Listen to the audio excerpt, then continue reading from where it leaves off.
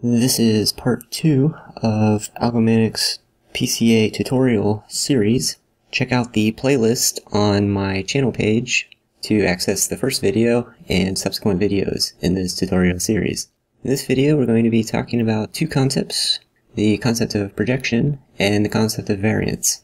These two concepts, along with the notion of change of basis, are the three conceptual cornerstones to understanding principal components analysis, this is because the first principal component is the unique vector that maximizes the variance of the projection of the data onto that vector.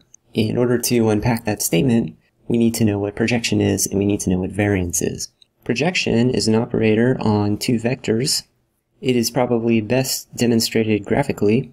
The projection of vector A onto vector B is the vector in the direction of b, which we will call cb, where c is a scalar, such that a minus cb is orthogonal to b. It turns out that determining the scalar c, and therefore the projection, is analytically computable. We use the fact that if two vectors form a right angle, that implies that their inner product is zero, since our definition of the projection requires that the vector a minus cb is orthogonal to b, we can therefore write a minus cb transpose b equals 0. We then can distribute the transpose and the b, and finally divide to find that c is equal to a transpose b divided by b transpose b. Now PCA is maximizing the variance of the projection of the data onto a vector called the principal component. So imagine if in our projection diagram here we had numerous vectors A, a1 through an, and we're projecting all of them down to b, that will give us a list of numbers c1 through cn, which is the projection of all the a's onto b. We want to maximize the variance of c1 through cn. So what do we mean by variance? Intuitively or visually, variance is the spread of a list of numbers about their mean. So a list of numbers that graphically appears to be spread out from the mean, we say this list has relatively high variance, Whereas if all the numbers are clustered very closely to their mean, we say that list has relatively low variance.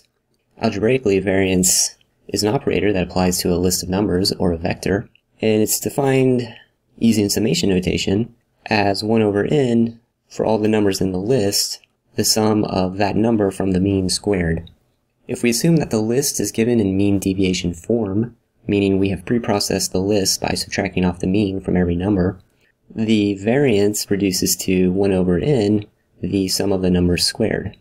As we discussed in our previous video, element-wise multiplication followed by a summation is equivalent to the inner product, so algebraically we can define the variance of a vector of numbers as 1 over n x transpose x. In this video we introduce the principal components analysis algorithm as an optimization problem. The first principal component is the vector that maximizes the variance of the data when projected onto it. We will see in the next video how this optimization problem can be analytically computed in polynomial time.